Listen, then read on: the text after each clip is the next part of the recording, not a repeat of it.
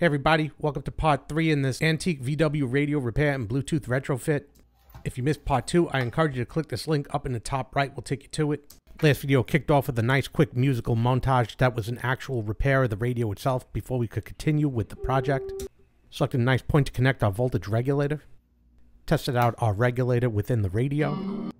Moved our power source to a presence off the circuit board. Came up with a wiring convention to incorporate our multiplexer digitized my voice and programmed it for tactile feedback on connection and disconnect of the Bluetooth itself. Find the proper location to tie in our MUX output within the radio circuit. Tested the MUX cutout by bypassing the AM. Seeing it latch back on on audio disconnect. Prepping the DAC for output signal connectivity to the MUX. Assembling our complete path with both inputs and one output.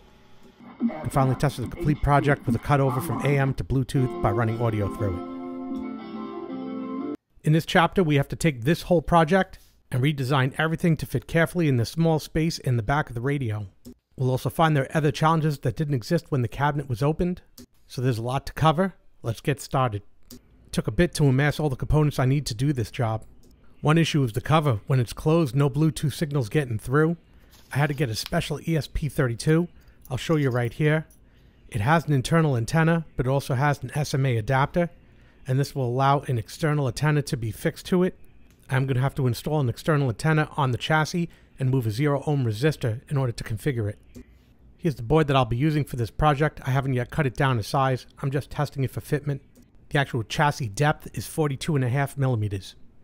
I jumped into this using my old ESP32 pinout, and this proved to be less than ideal. I didn't plan on using every pin on the board, only the ones that I was using for the circuit, as well as some outlying pins to stabilize the board, and then I would pull out the pins that I wasn't using, just pushing them through, pulling them out the top.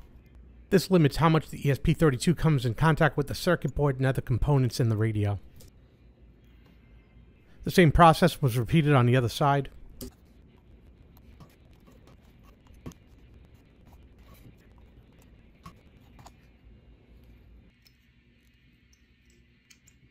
And this board's ready to go, so I thought. Quick test to insert it and check the tolerance of the pins against the board. We're also well within the margins. The board was tacked in at two opposite locations while holding it firmly together. This looks flush. I'll just drop in one more for now. So I was doing a smoke test and I noticed there was trouble when every time data was sent, this green LED started turning on. I should have checked the pin out before I started working. Now I'm going to pay for it. So let's see what's going on here. So here's the Blink demo that they released for their board, the T7. If we look at the definition for the LED pin, we see that it's pin 19, and that's my MUX pin. So yeah, my fault for not looking. Looks like I'm going to have to move my MUX pin to another pin. So I moved to pin 18 in code and in the hardware, but the green light is still shining. Break out Arduino IDE so I could do some testing. I try every pin and sure enough it's pin 22. Not only do I have to make hardware adjustments, but now I'll have to specify config parameters because they're no longer default. Given the track record with these companies, I should have worked this stuff out before I touched the soldering iron. But now we're past all that, I'm starting to install the ground bus and the ground connections for the ESP32 as well as the DAC. We can see that right here. Followed by the 3.3 volts for the DAC coming off the ESP32. And now all the data lines for the DAC are installed. This is a good time to test what I've done so far. I can't use the headphone jack installed like such, so my connection is going to be suboptimal and probably a little noisy, but that's okay.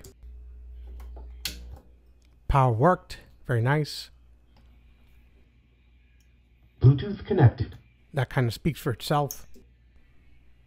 We and we can hear some sound coming through, so all the wired connections are good.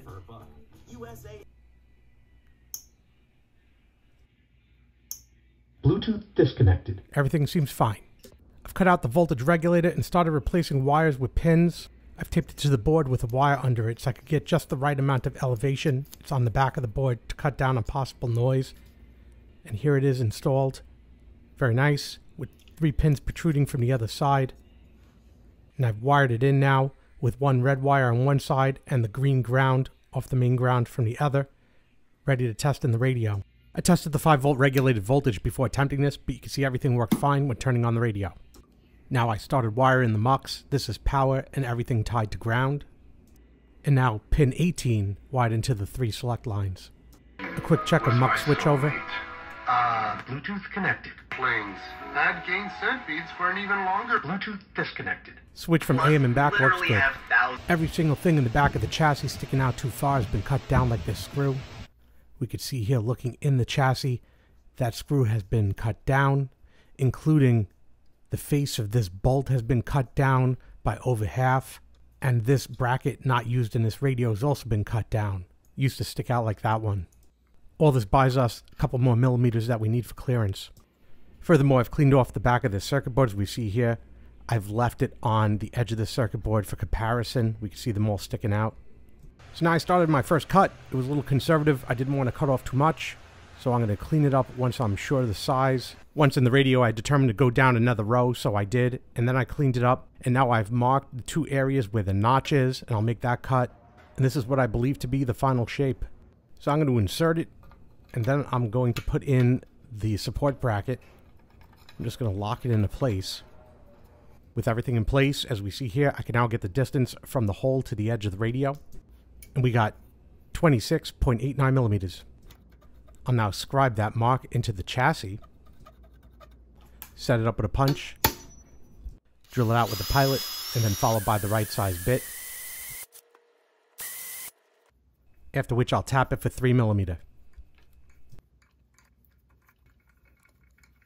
The bottom of the board will be held in by these brass standoffs.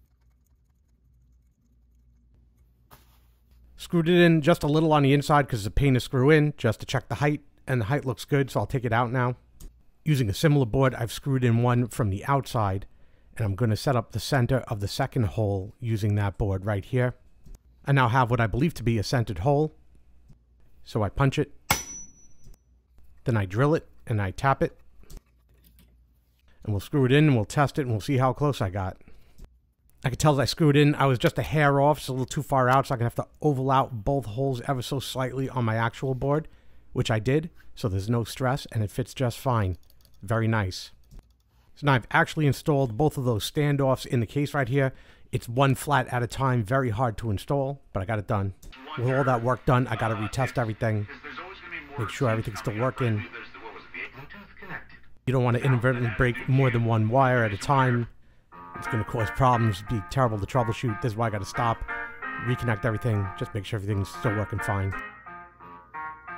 I'm satisfied though, so we could shut this down and continue. Next part involves some microscopic surgery to move this resistor over to here, switching from the internal antenna over to the SMA connector. And I got this that I use for really small projects. I never do anything this small, and these tiny tweezers. So here I am in the full zoom, and this came off with no problem. And it is every time you touch it, just flying everywhere. I managed to get it over there, and then it was gone. And I tried to pick it up, and then then it was gone forever. It's gone. It's just a zero ohm resistor. I don't really need it. Instead, I got a thin as a hair copper wire that I soldered across both leads. We could see it just like that. And now I'm just going to test it, make sure it works. So we got a good reading across both leads, and then just snip that tiny end, and that's it. Good to go. Now I should be able to read it across the first lead and the center, the tip of the connector, and that's good. So we're done. I just snap in my lead for the antenna. Here's the other end. The antenna for this is just a couple centimeters and it screws right on. Finished. So this onboard antenna is now disabled. Instead, we're running through this connector, through this cable, and out this antenna. So now line the board to the installation location by the notch, and just off to the side is room to mount my antenna. So I'll make my mark there, and punch. I ended up using several bits to get to the right size. The wrench stops me from going through a circuit board. And from the outside, I tested the fitment is good. These screws were a monster to get in. I had to seat them with long needle nose pliers. They also have a small fabric washer. Here's the one on the other side, but they're in now. The board is lined up perfectly as we see here. So now I'll drop the antenna lead in from the inside. This is secured with a plated star washer as well as a nut. Here's the mounting bracket. I've modified it. I shaved off this corner because it was really close to some electrical leads on the circuit board. And I've also made these two notches, and those notches hold the new circuit board in place, as I will demonstrate when I put it on. It is quite an exercise to line everything up, top and bottom, to get everything seated within all the notches. So I gotta line everything in a particular order, get everything straight, get the wires out of the way, and then once I do, I'm gonna get the original screw and holding it in position, I'm just gonna screw it in, hand tightened, and everything will be in place at that point. Here we go. And we could see how those notches hold that board into position. There's some rubber against the nut in the back that holds it in the other direction. And the original notches hold the other board in position, top and bottom. That hasn't changed at all. So both boards are secured. They're not touching each other. We can also see from the side that there's room. Everything's looking real good. I've reconnected all the connections. I'm going to be soldering now just to get an idea where everything's going. But first, I want to reconnect this yellow one that broke off early on in the series. That way I don't forget it. Yeah, there's been a pain, this one. Now we could continue, and I'm just going to go one by one and connect them, heat shrink them, and whatnot. Now all the cables are connected. We can see here this one's tied to ground. Everything is good, except some of them going over the mounting bracket. So I'm going to remove the mounting bracket just to bring them under and put the mounting bracket back on. The only thing left sticking out at this point is the antenna. Brackets back on. All the cables now addressed in their appropriate location. So the cabling portion of this project is now done. Everything is internalized into the radio. This was kind of expected. Shortfall mounting the ESP32 so close to the RF circuit. I also had a second choice right by the mechanical side here in the front right, but here's what we got. Fully mounted now, our signal to noise ratio is not so good.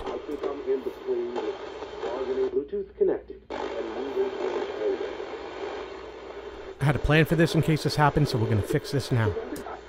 First, a file will be used to shave all the sharp ends off of the circuit board. And that means every single sharp end off of this circuit board till it's smooth. After that, set out a length of heavy duty duct tape. And here I have copper tape for EMF shielding. I'm going to lay the copper tape with the copper facing the sticky side of the duct tape over one side, dressing to the bottom, so the copper shine that's a little longer will stick out one side. Press everything together. Then I'll leave a small margin to connect stuff to if need be. The far side I'll fold over to insulate. I'll negotiate the shield into the unit to determine how much of it needs to be cut off.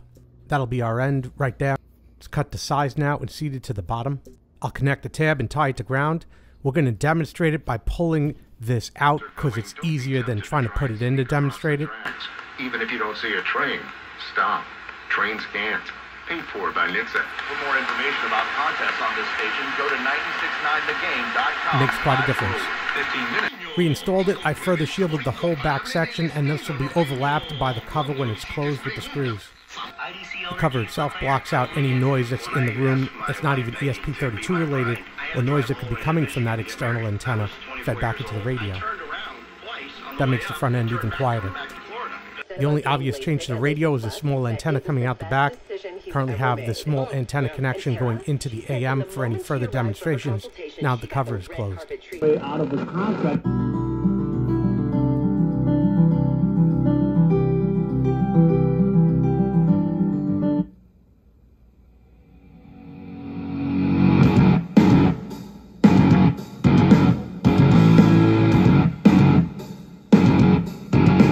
Bluetooth disconnected.